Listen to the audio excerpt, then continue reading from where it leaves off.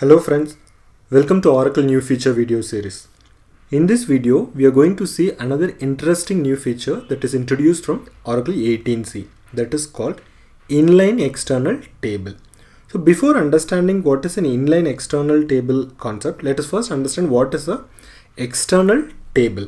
Okay, see whenever we want to access a data from a file into a database, I'm not talking about a data which is present inside the database. See, normally we'll create a table and we'll populate the data and we'll access the data. But sometimes there is a need for us to access the data which is outside the database. For example, you want to access the data from an Excel sheet or a CSV file into a database, a comma separated file or a text file, whatever the information. Sometimes we may want to access the data from a external file.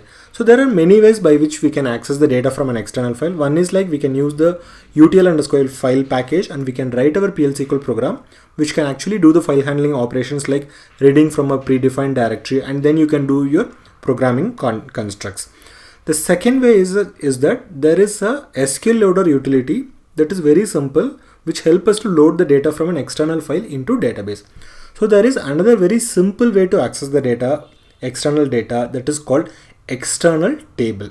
Suppose for example, if I want to access this particular information, like whatever I'm showing you here, this particular information I want to access. So this is nothing but a CSV uh, file that is a comma separated file which is there in a one particular location in a, in a machine. If you want to access this through an external table, you just need to follow only three simple steps. One is like you just need to create a directory object. This directory object should point to the directory whatever you want to access so it should be the same. Next is that you need to create a table. So this is an external table. Uh, how you will be uh, telling this is an external table is that you will be giving a additional class called organizational external. So within this class you will be telling what type of loader you are using. What is the directory from you want to load? So this is the directory name. This is nothing but whatever you just now created using the directory object the next is the access parameter class uh, will say the metadata information about the file which you are loading. For example, what is the uh, line delimiter, what is your field delimiter, delimiter, all these things. And finally, what is the name of the file, all these things. So once you have created this particular external table, you can simply say select star from this particular table. You can say this, select star from this. The moment you say select star from this, this will in fact read the information from the excel sheet into the database. So you'll be actually seeing a result as if the information is from a table. Okay? So this is in, in this case it is actually reading from the csv file. So this is the very simple concept of uh, external file and this is a behavior till 12c in fact the same behavior exists in 18c but there is a new feature introduced on top of this. To understand the new feature, we just need to understand what is an external table. First, let me show you this particular example in a very quick demo. Then we'll see what is the external, uh, then we'll see what is the new feature that is being introduced from 18c. Okay, if you can see here, I have a file called emp underscore details.csv which has information about some employee. There are 14 uh, employee information available here. Now we are just going to access this particular uh, data in using the external table. Okay, as I mentioned, first we need to create a directory. I'm just creating a directory using the create directory uh, DDL command. The next part, I'm just going to create the external table. So here is the DDL script. I'm just creating the table. You can see now the table is created. Now you can simply say select star from external table or whatever the table name you have given. As you can see here, now the information is actually retrieved from the uh, CSV file. This information is nowhere stored inside the database.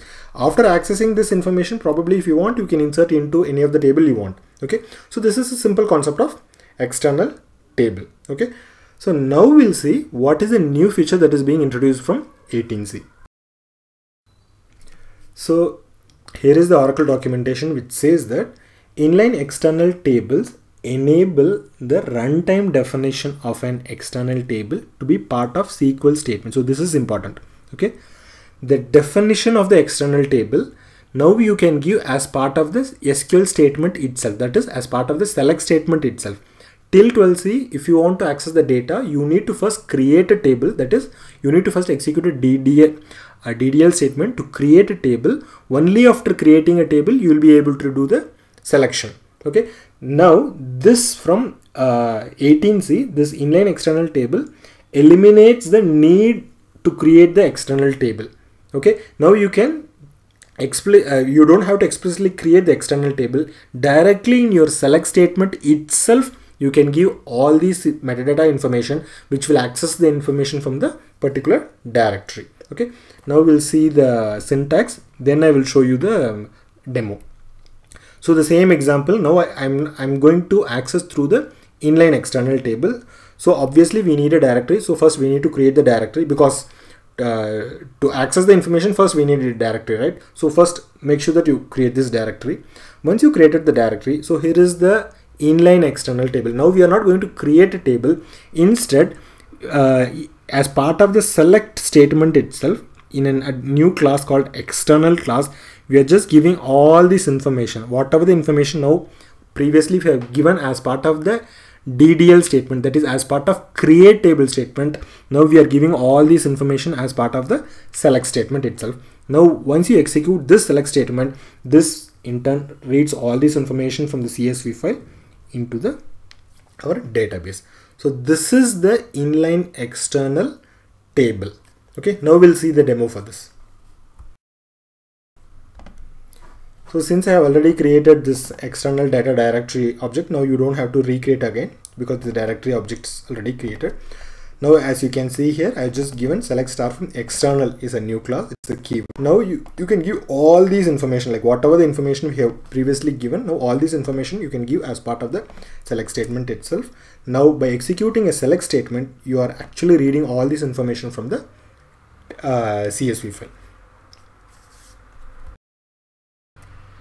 So, so this inline external table is introduced from 18C onwards.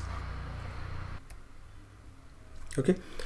Now we'll see one more uh, uh, small use case uh, to understand how this inline external view is comparatively better. Because using the external uh, table also we are accessing the same data. Using inline external table also we are using the uh, we are accessing the same data. But how it is comparatively better that we'll just understand using a simple use case.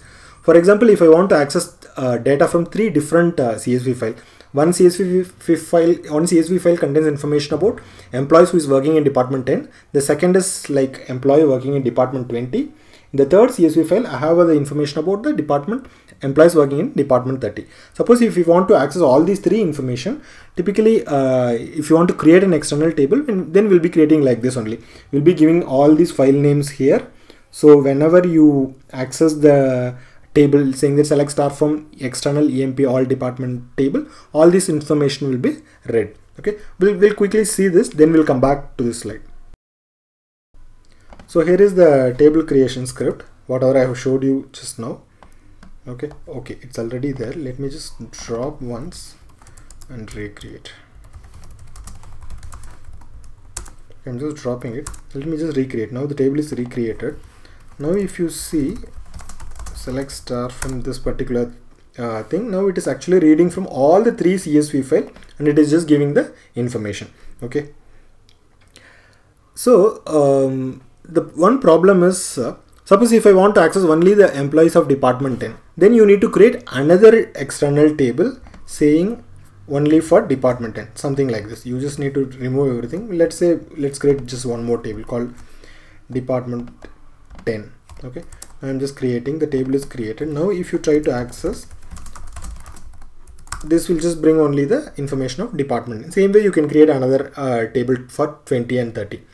But from 18C, uh, we, we don't since we don't have to create the table itself based on our need we just need to give whatever the file information we want for example if you see here so here this is from 18c you can see right whatever the information we want we can just suppose if I don't want uh, department 20 information I'll, I'll just remove the file name. I'll just execute this.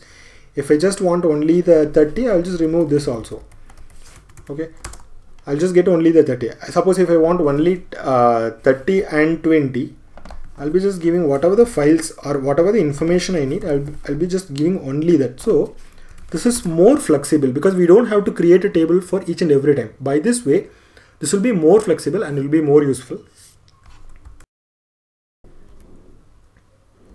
So this is what we just now saw uh, from 18C we can just give the file name. Based on our need we whatever the file name we are giving it will just access the information. But keep it in mind that the uh, whatever you are trying to uh, consolidate it should be compatible. That means all these uh, three files should be of a same format. That means the number of column the data type should match.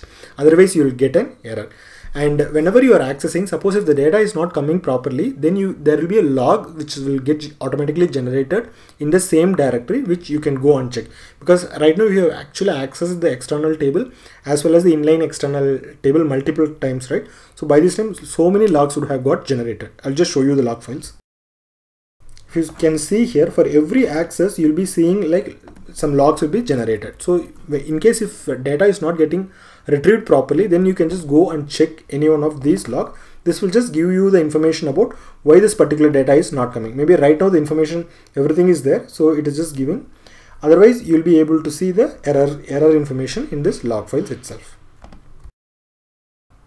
just a quick comparison about uh, the current external table and an inline external table is in the current external table we just need to do a create table. So this is the only difference. You need to first create the table then only you'll be able to do the you'll be able to access the table using the select statement. So this is till 12c in fact the same thing available on 18c also. But the new feature from 18c is that you don't have to create the table. Instead all this information whatever part of uh, uh, create table statement. Now you can you can define as part of the select statement itself. You can give as part of the select statement itself. By executing the select statement you'll be getting all these informations. So this is from 18c